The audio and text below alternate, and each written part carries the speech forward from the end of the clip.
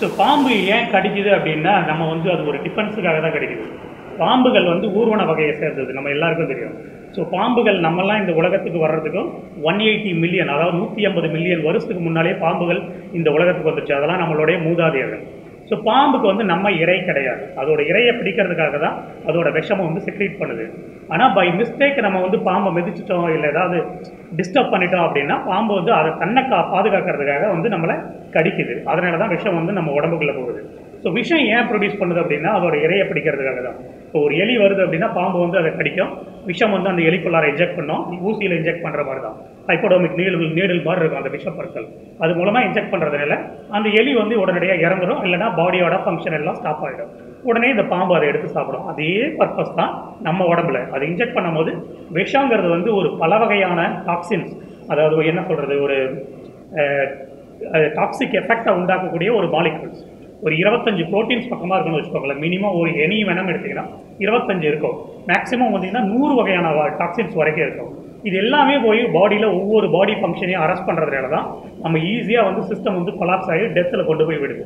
So பாம்பு வந்து நம்மளை கிடைக்கிறது மெயின்லி டிஃபென்ஸுக்காக தான். நம்ம பாம்போட இறை கிடையாது. ஒரு சில பாம்புகள் மேபி இந்த மலைப்பாம்புங்கிற மாதிரி இருக்கிற பாம்புகள் வேணால் மனுஷனை முழுங்க ட்ரை பண்ணலாம். ஆனால் உண்மையிலே நம்ம பாம்புக்கு இறை கிடையாது.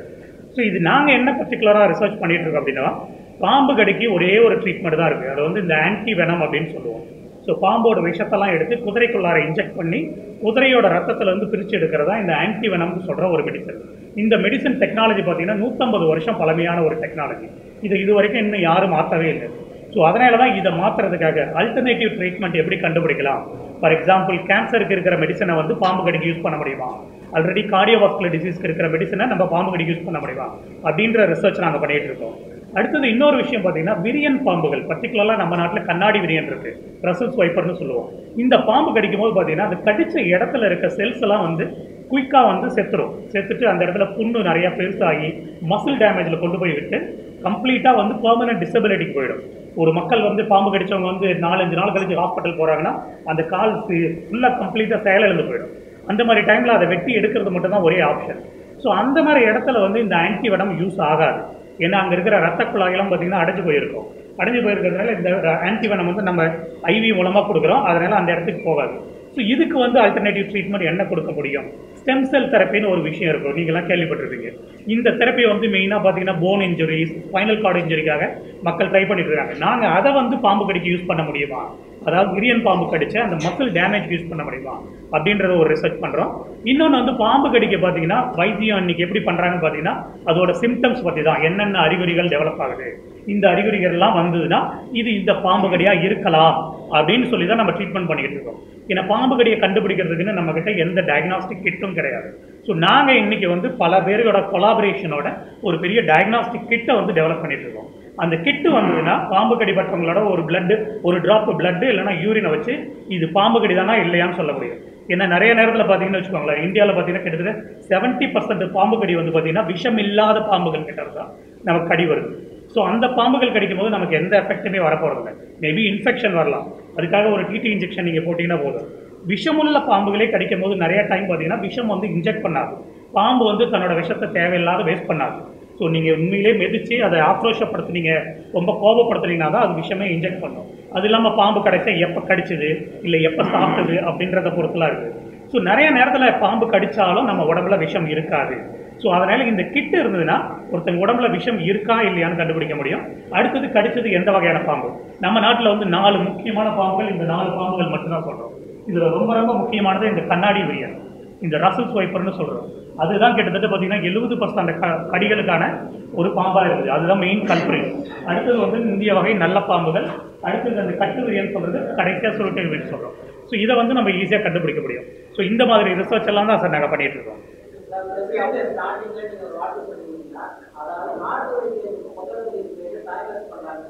நாட்டு பண்ண எப்படி நீங்க சொல்ல முடியும் சார் நாட்டு time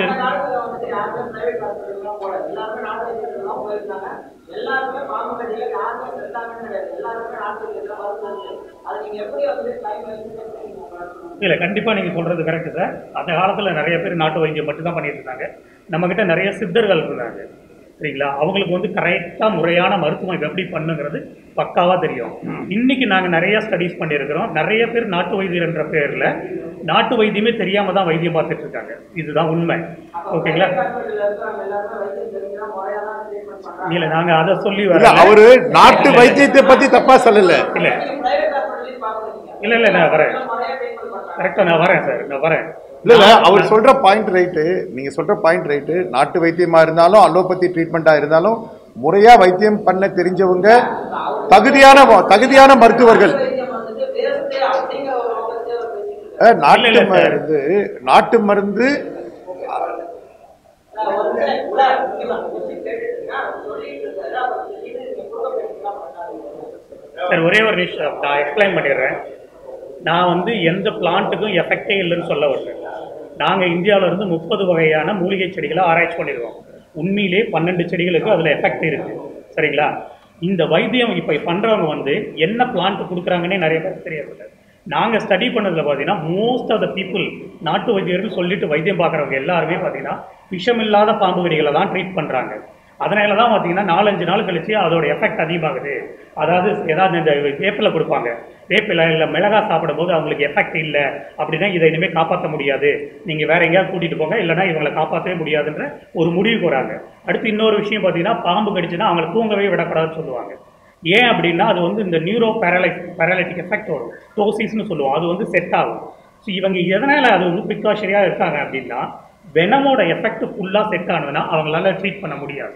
most of the time அவங்க ட்ரீட் பண்ணுறது எல்லாம் விஷமில்லாத பாம்பு கடிகள் அல்லது இந்த ட்ரை பைட்டுன்னு சொல்கிற பாம்பு கடிகள். ஒரு சிலர் உண்மையிலேயே காப்பாற்றுறாங்க சார் நான் ஒத்துக்கிறேன். நான் சொன்ன மாதிரி முப்பது பிளான்ட்டில் பன்னெண்டு பிளான்ட்டுக்கு நம்ம நாட்டில் எஃபெக்ட் இருக்குது நாங்கள் இல்லைன்னு சொல்லவே வரல. ஆனால் அது யார் கரெக்டாக பண்ணுறாங்க யார் கரெக்டாக பண்ணுறதில்ல நமக்கு தெரியறதில்லை. எங்களோட ஸ்டடி பிரகாரம் நாங்கள் இன்டர்வியூ பண்ணதில் மோஸ்ட் ஆஃப் த பீப்புளுக்கு அவங்க என்ன பண்ணுறாங்கன்னு தெரிய வர்றதில்ல. எப்பெல்லாம் எஃபெக்ட் அதிகமாகுதோ அப்போல்லாம் அவங்கள வந்து ஹாஸ்பிட்டலுக்கு அனுப்புகிறாங்க இப்போ நாலஞ்சு நாள் கழிச்சு அவங்க ஹாஸ்பிட்டல் போகும்போது அவங்க உடம்பு ஃபுல்லாக எஃபெக்ட் வந்து பல மடங்கு அதிகமாகிடுது அந்த மாதிரி டைமில் ஹாஸ்பிட்டலில் ட்ரீட்மெண்ட் பண்ண பண்ண முடியல. தனியார் ஹாஸ்பிட்டலில் எல்லாரும் ட்ரீட்மெண்ட் பண்ணுறாங்களா அப்படின்னா இல்லை. உண்மையில நாங்கள் ஒத்துக்கிறோம். பாம்பு கடியை ஃபுல்லி எக்ஸ்பீரியன்ஸ் பீப்புள் மட்டும்தான் இது வரைக்கும் ட்ரீட் பண்ணிட்டு இருக்காங்க. அவங்க மட்டும் தான் கான்ஃபிடென்ட்டாக ட்ரீட் பண்ணுறாங்க அதனால் டாக்டர்ஸ்க்கும் நாங்கள் ட்ரைனிங் வந்து இப்போ கொடுக்கறதுக்கு ரெடி பண்ணிகிட்டு இருக்கோம் சரிங்களா எல்லாருக்கிட்டையும் ஆன்டி வெனம் ஸ்டாக்கில் கிடையாது. ஒரு சில ஹாஸ்பிட்டல்ஸ்லாம் இருக்குது அவங்க மட்டும் தான் கான்ஃபிடென்ட்டாக இதை ட்ரீட்மெண்ட் பண்ணுறாங்க சார் மேக்ஸிமம்னு போனோம்னா எண்டே இல்லை சார் இல்லை? ஆவரேஜாக ஆவரேஜாக இப்போ எங்களுக்கே பல ஆயிரக்கணக்கான கிளைம்ஸ் வருது. ஹாஸ்பிட்டலுக்கு போயிட்டு அந்த ரீஎம்பர்ஸ்மெண்ட்காக வருது. நாங்களும் ரெண்டு கோ- ரெண்டு கோடிக்கும் மேலே கொடுத்துருக்கோம் லாஸ்ட் இயர் இந்த ஆவரேஜாக பார்க்க போனால் நாற்பதாயிரம் ஒரு ஐம்பதாயிரம் ஆகுது.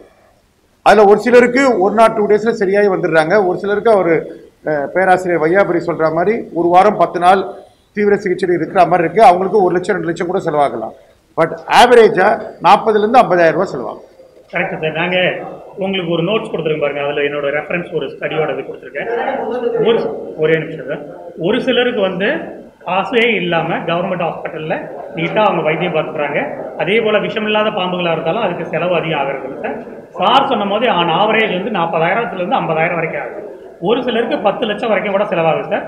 ஏன்னா இப்போ இந்த கண்ணாடி வீரியன் கிடச்சுன்னா ஒரு சிலருக்கு பிரெயினில் வந்து ப்ளீடிங் வரும் சார். ஹெமராஜிக் ஸ்ட்ரோக் அப்படின்னு சொல்லுவோம். அது கூட வருது. அந்த மாதிரி வரும்போது அவங்களுக்கு சர்ஜரி பண்ண வேண்டிய சுச்சுவேஷன் வருது. அந்த மாதிரி டைமில் வந்து எஃபெக்ட் அதிகமாகுது. ஸோ முதலுதவி அப்படின்னு பார்த்தீங்கன்னா பாம்பு கடிக்கு சரியான முதலுதவி அப்படின்னு பார்த்தீங்கன்னா முடிஞ்ச வரைக்கும் எதுவுமே பண்ணாமல் உடனடியாக ஹாஸ்பிட்டல் போயிடுறது நல்லது சார் அடுத்தது கடிபட்டவங்கள இம்மோபிளைஸ் பண்ணணும். இம்மீடியட்டாக அவங்கள ஆடாமல் அசையாமல் வைக்கணும் அவங்க பேனிக் ஆகி ஓடுனாங்க அப்படின்னா அவங்களோட ரத்த ஓட்டம் அதிகமாகும். அதனால் விஷம் வேகமாக பரவும். சரிங்களா? இப்போ எலும்பு முறிவு ஏற்பட்டால் எப்படி அவங்கள வந்து இம்மோபிளைஸ் பண்ணி நம்ம கொண்டு போகிறோமோ அந்த மாதிரி எவ்வளோ சீக்கிரம் முடியுமோ அவ்வளோ சீக்கிரம் ஹாஸ்பிட்டல் கொண்டு போகிறது நல்லது.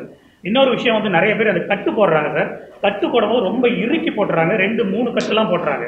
அந்த மாதிரி போடும்போது பார்த்தீங்கன்னா அந்த பாதிக்கப்பட்ட இடத்துக்கு ரத்த ஓட்டமே கம்ப்ளீட்டாக ஸ்டாப் பண்ணிடுறாங்க. அதுவும் வந்து ஒரு தவறான விஷயம். ஏன்னா அந்த மாதிரி கட்டு போட்டுட்டு ஒரு ரெண்டு மணி நேரம் கழிச்சு ஹாஸ்பிட்டல் போனாங்கன்னா அந்த பாதிக்கப்பட்டத்தில் இருக்கிற இடத்துல இருக்கிற செல்ஸ் எல்லாம் செத்துரும். ஏன்னா அங்கே ரத்த ஓட்டமே எதுவுமே இருக்காது. அதனால கட்டு போட தெரிஞ்சதுன்னா அவங்க வந்து இந்த ப்ரெஷர் பேண்டேஜ் போடலாம். ஒரு விரல் உள்ளே போகிற மாதிரி கட்டு போடலாம். அப்படி போடும்போது ஒரு ஐம்பது பர்சன்ட் ரத்தம் ஓட்ட குறையும். முழுசாக நமக்கு வந்து குறையாது. அப்படி இல்லைன்னா கட்டே போடாத தயவு செஞ்சு ஹாஸ்பிட்டல் போயிடுறது நல்லது சார் முக்கியமாக வந்து அந்த இடத்த வந்து கிளி கிழிக்கக்கூடாது நிறைய பேர் வந்து கண்ணாடி பீஸு துரு பிடிச்ச கத்தியெல்லாம் வச்சு கிழிச்சு விட்றாங்க இன்னும் ஒரு சிலர் வந்து வாய் வச்சு ரத்த ரத்தத்தெல்லாம் உரியிறாங்க. ஸோ அந்த மாதிரி உரியும் போது அந்த உரியறவங்களுக்கும் நிறைய எஃபெக்ட் வருது.